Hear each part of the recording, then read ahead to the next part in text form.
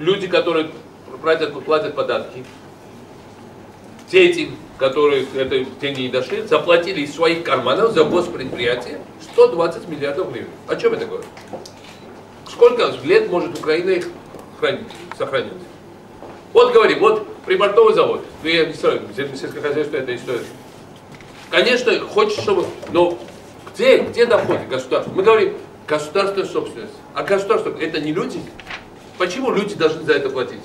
Государственная собственность, которая не работает на людей, наоборот, забирает последние гроши у людей, каким образом оно может оставаться в этом статусе?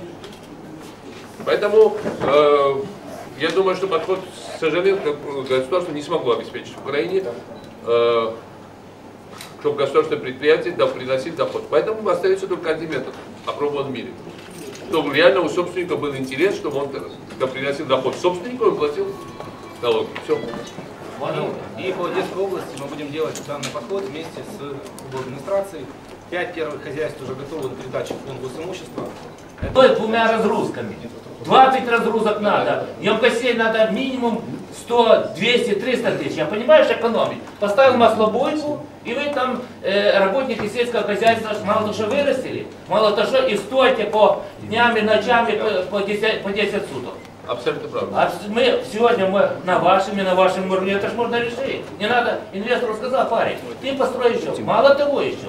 Зачем государство, вот я поднимал вопрос, тратить такие колоссальные деньги на э, элеваторы и, и тому подобное, которые э, сегодня обдирают сельхозпроизводителей. Вот здесь надо хранить. Он заготавливает, перерабатывает 200 тысяч. Вот 100 тысяч хранения и бесплатное, как мы сделали в Измаиле. И перерабатывай. И нету очереди, и нету ничего. Абсолютно правы, и мы должны создавать инфраструктуру. Второй вопрос. Насчет госпредприятия. Да? Вы будете приватизировать эти госпредприятия 3, 5 и 10 лет. Я уже предлагал. Госпредприятие, особенно академию разгоните тут. И сегодня в Беляевском районе 4000 гектар земли гуляет. Говорю, дай, дай обрабатывать, он, но он не может дать обрабатывать. Который должен при кабинете просто разобраться. Я считаю, что у каждого гектара земли должна быть фамилия, прозвище, имя по батьковой. Понимаете? Понимание, что где-то как-то она должна... Мы понимаем, что реально вам, вам, вам и вам. Вы договора сделаете там на 5-10 лет и будете спокойно арендовать у людей. Чем когда есть госчиновник мелкий, который, знаете, у меня есть куча примеров. У меня есть 200 компаний, которые не банкротятся уже много лет. А знаете почему? Потому что у них есть 5, 10, 100 гектаров земли, где мелкие чиновники схватили за них. И... Э, это 400 автомобилей на сегодня, которые стоят в очереди и сутками сидят в машинах. Это э, ни гигиены там нет, ни, ни порядка, ничего.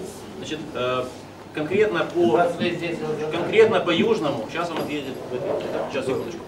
В принципе, э, то есть решается вопрос э, точечно, это по Южному, сейчас вам ответим. Но нужно решать вопрос структурно, системно. Системно мы с Алексеем Михайловичем договорились, между нашим министерством мы сделаем приказ, который обяжет все элеваторы портовые иметь площадки. Мы сделаем расчетку по величине этих площадок, где будет отстой для, э, для автомобилей, где будут человеческие условия, где будет туалет, где будет вода, где можно будет людям нормально находиться в случае, если задержки есть погрузки. По поводу Южного конкретно, сейчас вы получите ответ от местного руководства. По поводу Южного, ну, я представитель завода компании Волсис, но проблема заключается не только в том, что машины негде ставить. Проблема в том, что на рынке той услуги, о вы говорите, где очереди стоят, есть монополист. На самом деле здесь только два элеватора. Проток. Если бы у меня, если бы это был мой элеватор, наверное, тоже бы такой очередью, я тоже бы драл бы три, три шкуры с этих колхозников, и они стояли бы тут не один день. Если бы было здесь 3, 4, 5 элеваторов, очереди бы не было. А так как монополист здесь находится, никого больше не пускаются, до два элеватора, все, вы будете стоять вот еще десятки. Мы обратились... А кто этот монополист? Ну это в компании, которая находится в готове порта Боревашки зерно. Они здесь две компании. Ну, мы к тому же самому подходим, что мы, нам нужны новые причалы, нам нужно, земля есть, а, инвестор готов оборудовать причал. Что касается, я с удовольствием разговариваю, там, там, там целый ряд других проблем. Там это основные трассы, сейчас туристический поток.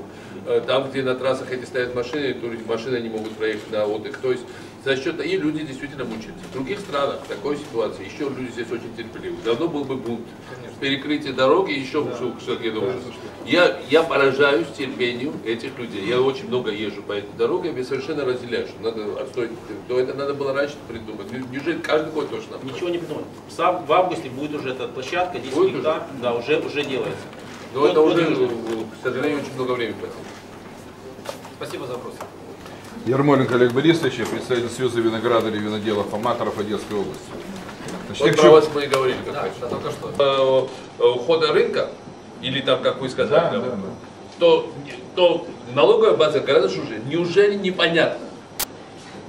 Я То есть, тоже. на самом деле, Это я иногда понимаю, что или, или там, я не знаю, кто эти вопросы решает. И- и тут люди присутствуют центрального правительства. Неужели это непонятно? Ерунда, когда они ссылаются на МВ. Но не может МВФ советовать убить целую отрасль вот так.